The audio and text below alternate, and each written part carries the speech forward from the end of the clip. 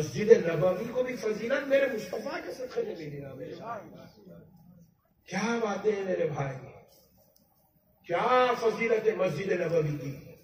میرے آقا کے ممبر پاک محراب شریف، جہاں میرا نبی امامت فرماتا تھا، اس جگہ سے لے کر حضرت عائشہ کے حجر اقدس تک کی جو جگہ ہے، وہ صرف مسجد نبوی نہیں ہے۔ اللہ نے اس جگہ کو ریاض الجنہ، جنت کا ٹکڑا بنا دیا۔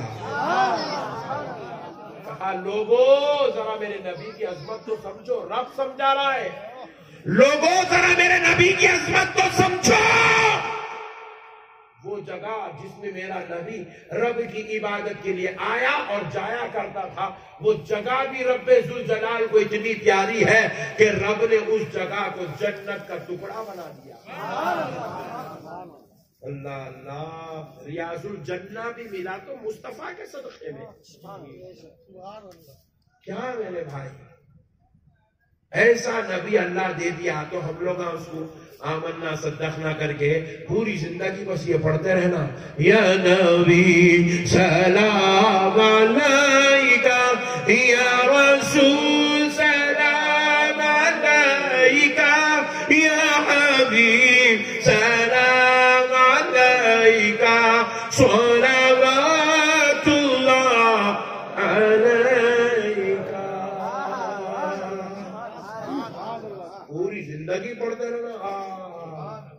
آقا کو سلام کا نظرانہ بھیجتے رہنا ناج پاک کا نظرانہ بھیجتے رہنا، درود پاک کا نظرانہ بھیجتے رہنا۔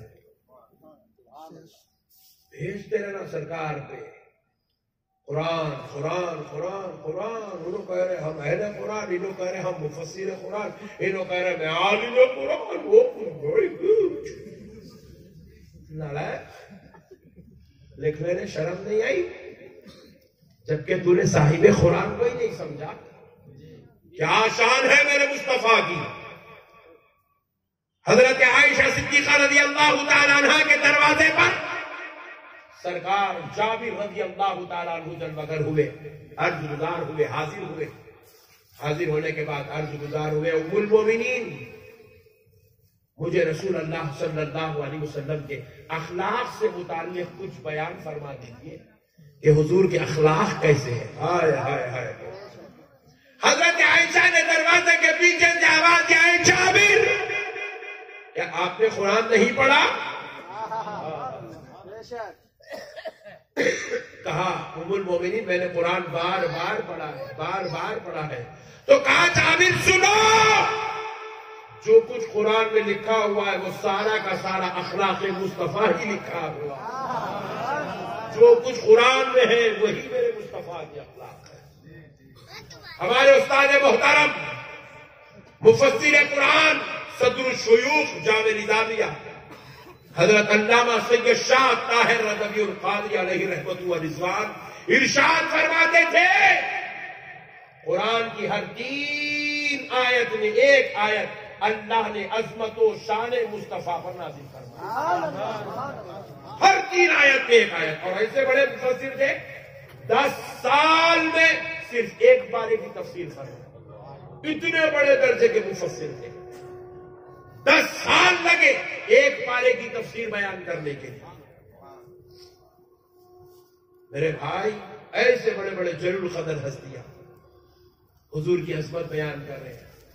غوث اعظم جیسی ذات حضور کی عظمت بیان کر رہے ہیں۔ امام اعظم جیسی ذات حضور کی عظمت بیان کر رہے ہیں۔ امام شافعی جیسی ذات حضور کی عظمت بیان کر رہے ہیں۔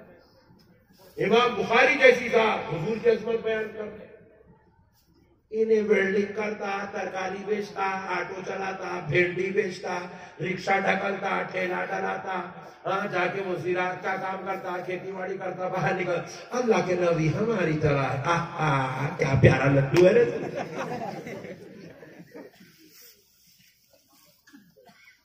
جاہل قوم اللہ کا واسطہ مومنوں مسلمانوں، تم سے میری گزارش ہے، خدا را میری بہنوں، تم بھی کان کھول کے سنو۔ جاہلوں کی باتوں میں آ کر اپنی آخرت کو برباد نہیں کرنا۔ تم اگر ان کی باتوں کو سن کر اپنے نبی کی محبت کو دل سے نکالو گے، نبی کا احترام، نبی کی عظمت، نبی کی الفت، نبی کا مقام، نبی کا رتبہ، نبی کا درجہ، نبی کی عزت۔ اگر دلوں سے نکال دو گے تو کان کھول کے سن مرنے کے بعد خبر میں نہ تمہارے والد آئیں گے، نہ تمہارے بھائی آئیں گے، نہ تمہارے استاد آئیں گے، نہ تمہارا کوئی امیر آئے گا، نہ کوئی شیخ صاحب آئے گا، نہ کوئی حفیظ اللہ تعالی آئے گا۔